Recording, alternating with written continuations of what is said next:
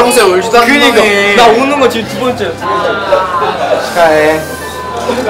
진짜로. 나 때문에 야. 그래도 야 우리 중에 한명 그래 한 명이라도 됐으니까 그래 됐어. 좋아 진짜 좋아.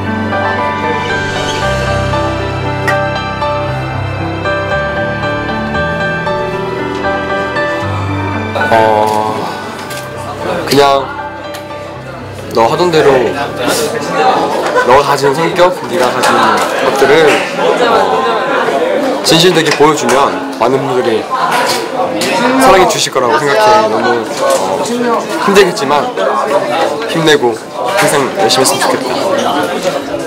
아 너무 긴장도 많이 하고 그래가지고 항상 부산에서 응원해주는 엄마 아빠랑 누나 할머니한테 얘기를 못했어요. 너무 그래서 후회 남았었는데 올라가서도 어, 6년 전에 처음 시작했을 때부터 부담 주지 않고 항상 즐기면서 하면 좋은 결과 있을 거라고 엄마가 항상 아빠가 말해주셨는데 이렇게 또 열심히 하다 보니 결과가 나온 것 같아서 너무너무 감사드리고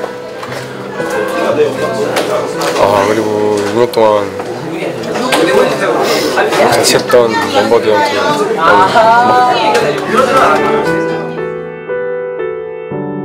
감사합니다